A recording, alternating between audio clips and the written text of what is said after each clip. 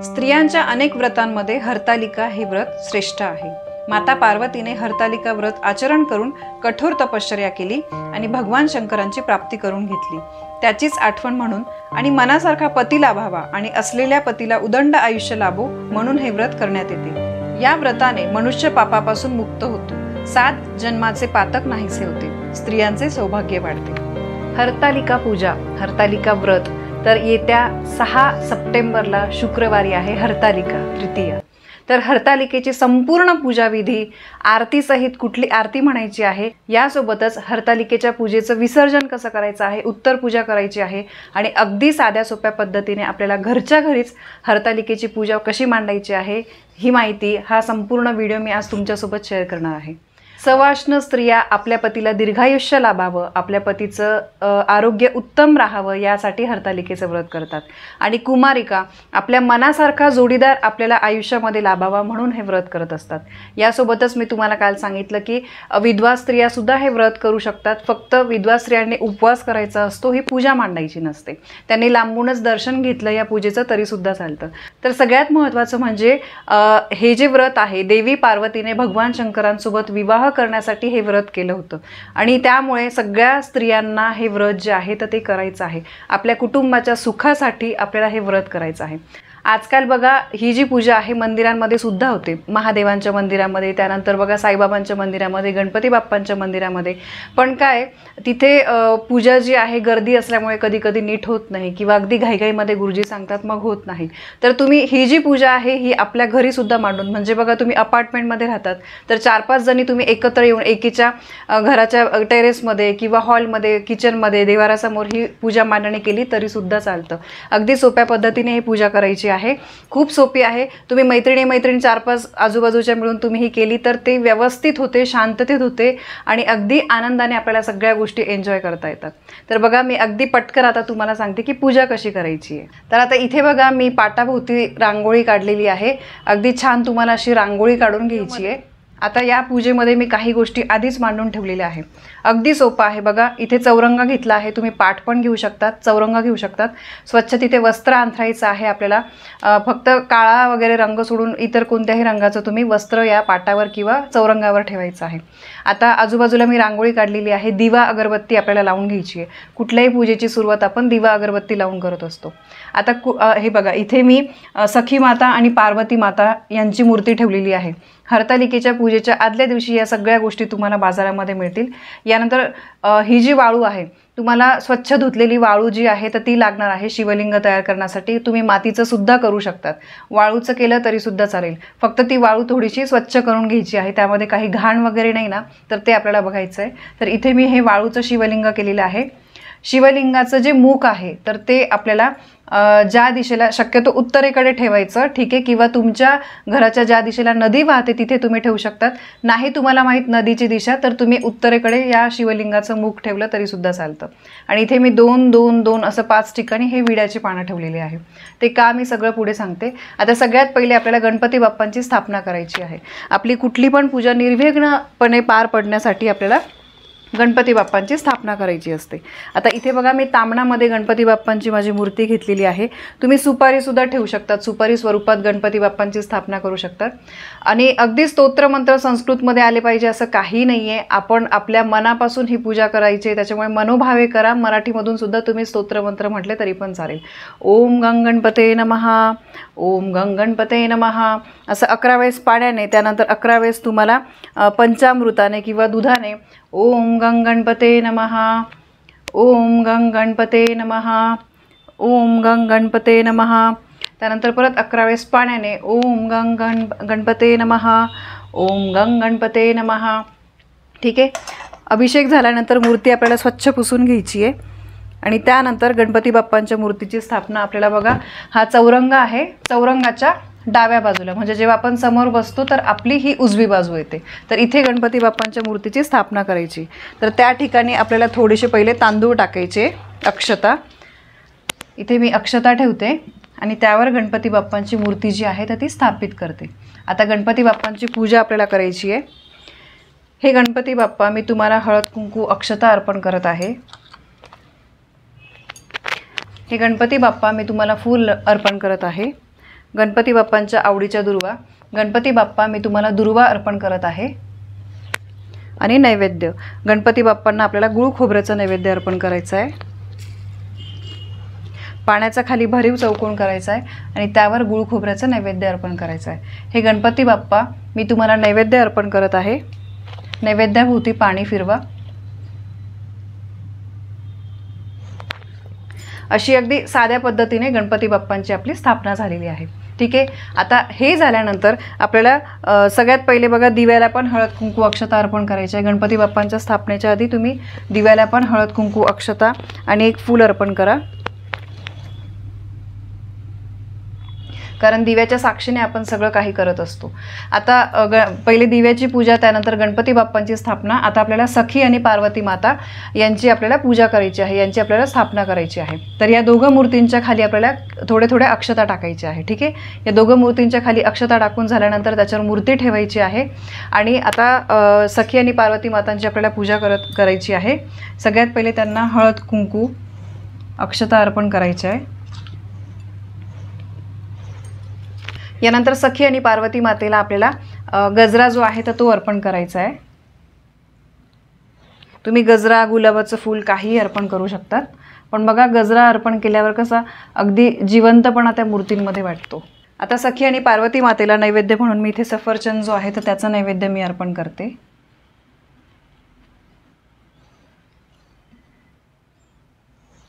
नैवेद्यभोवती पाणी फिरवायचं आहे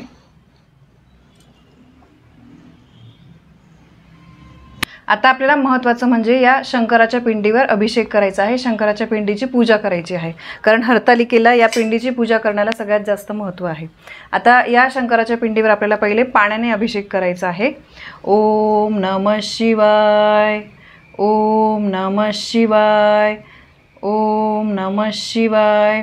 अकरा वेळेस पाण्याने यानंतर अकरा वेळेस तुम्हाला पंचामृताने पंचामृतामध्ये दूध दही तूप साखर आणि मध ओम नम शिवाय.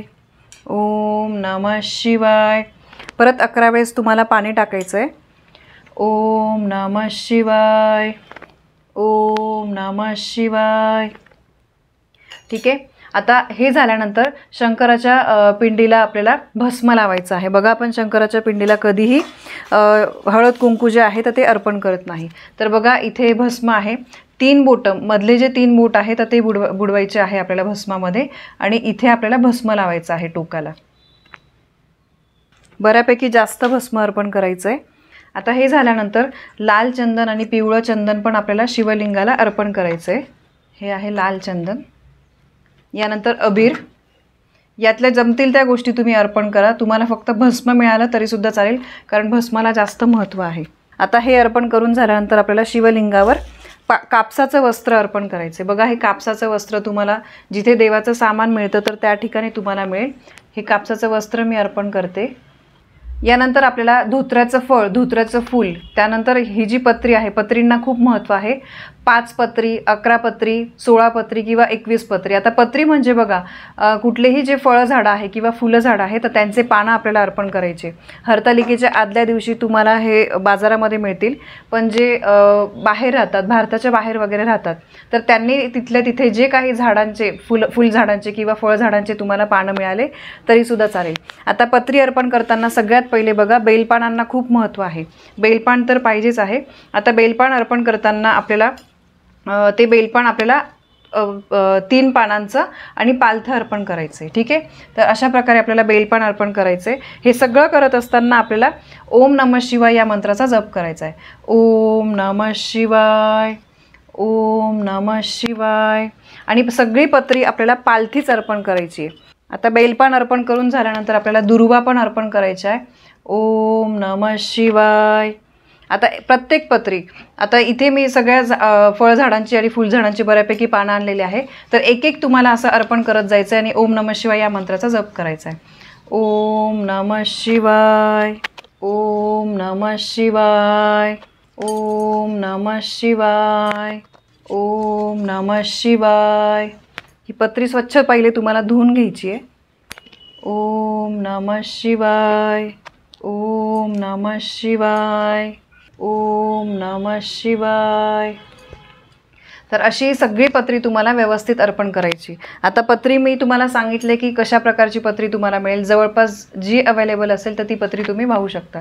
आता हे झाल्यानंतर शिवलिंगाला आपल्याला दूध साखरेचं नैवेद्य अर्पण करायचं आहे इथे पाण्याचा भरीव चौकून करते मी आणि तिथे नैवेद्याची वाटी ठेवते.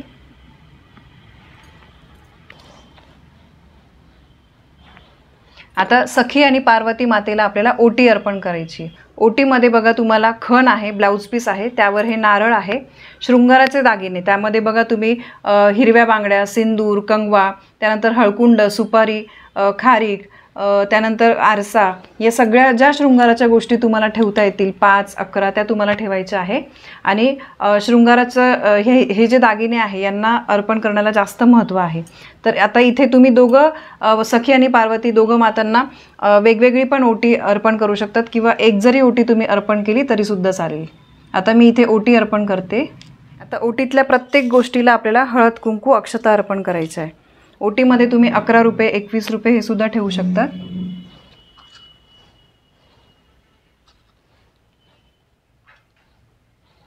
ओटीला फूल अर्पण करायचं आहे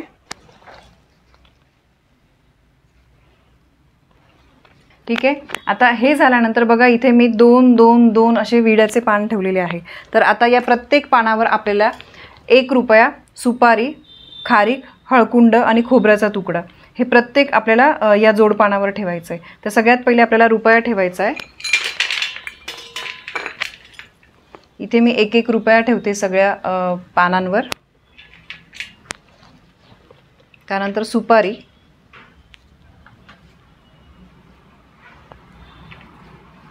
एक एक आपल्याला हळकुंड अर्पण करायचं आहे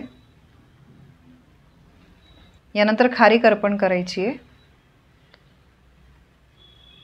यानंतर बदाम. हे सगळं करत असताना तुम्हाला ओम नमः शिवाय या मंत्राचा जप करायचा आहे खोबऱ्याचा तुकडा.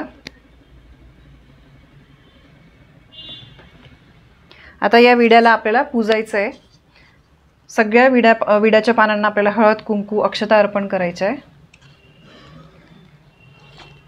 यानंतर फुलं अर्पण करायचे. आणि नमस्कार करायचा आहे आता अशी आपली पूजा मांडणी झाली आहे. आता या संपूर्ण पूजेला आपल्याला दिव्याने ओवाळायचं आहे. प्रत्येक सगळ्या गोष्टींना आपल्याला दिव्याने ओवाळायचं आहे. सगळ्यात पहिले गणपती बाप्पांना ओवाळा.